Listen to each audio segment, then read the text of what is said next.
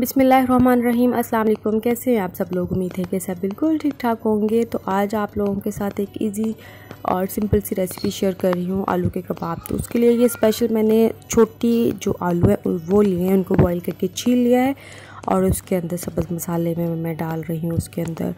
और सब्ज़ मिर्चें चॉप की हुई हैं पाँच से छः थोड़ा सा पुदीना लिया है मैंने, फ्रेश पुदीना और थोड़ा सा धनिया। उन सबको चॉप करके तो आलू के अंदर जो है वो डाल दिया है और अब इसके अंदर मैं मसालों में डाल रही हूँ गरम मसाले में ये सिर्फ़ ज़ीरा है पीस साबुत ज़ीरा और कुटा हुआ खुश्क धनिया और थोड़ी सी अजवाइन है। इन सब चीज़ों को इसके अंदर ऐड कर दिया है और अब मैं इसके अंदर डालूँगी आधा चम्मच, जो नमक है वो और थोड़ी सी कुटी हुई लाल मिर्च, तकरीबन तकरीबन बन जाती है कोई हाफ़ चम्मच बन जाती है।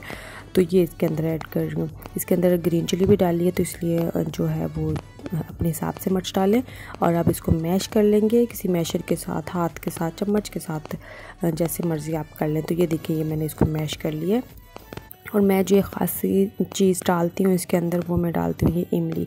तो इमली को मैंने भिगो के रखा हुआ था, उसको स्ट्रेन करके तो उसका पानी निकाल लिया है। बाकी जो उसका था, गूदा वगैरह वो मैंने फेंक दिया। और आप इसको इसके अंदर डाल के तो मिक्स कर लेंगे। इसके, इससे ना इसका टेस्ट इतना अच्छा बन जाता है, इतना मज़े का टेस्ट बन जाता है इसका। तो आप ज़रूर इसको ट्राई करिएगा। तो इसको मैशर के साथ नहीं हो रहा है तो मैं चम्मच के साथ इसको मैश कर लूँगी, अच्छे से मिक्स कर लूँगी। तो ये देखिए, ये हमारा जो मिक्सर है, बिल्कुल भी पतला नहीं हुआ है। ये देखिए चम्मच के साथ इसी तरह चिपका हुआ है। इसलिए ना आप फिक्रमंद ना हो कि वो डालने से ये पतला हो जाएगा तो टिकिया नहीं बनेगी या कोई मसला हो जाएगा। तो ये देखिए, इस तरह से मैंने सब बना के रख लिए इसको रेस्ट पे छोड़ देंगे थोड़ी देर के लिए फ्रिज में रख दूँगी तकरीबन आधे घंटे के लिए और फिर इसको करेंगे फ्राई तो यहाँ पे ये मैंने रख दिया था ऑयल गर्म होने के लिए, एक अंडा लिया है, उसको अच्छे से करके फेंट के तो उसके अंदर मैंने डिप करके तो इसके अंदर डाल दिया है ऑयल के अंदर। और इसको पहले एक साइड एक साइड इसकी गोल्डन होने देंगे अच्छा सा कलर आ जाए तो फिर इसको चेंज करेंगे दूसरी साइड पे। और ये हमारी झटपट सी जो है, वो आलू के कबाब, आलू की टिक्कियाँ रेडी हो गई हैं। और बहुत यमी सी हैं, आप इसको ग्रीन चटनी के साथ खा सकते हैं, इसको कैचअप के साथ खा सकते हैं, बहुत मज़े की लगती हैं।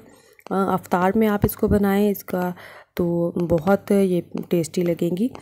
तो यही एक छोटी सी सिंपल सी रेसिपी थी मेरी आज की।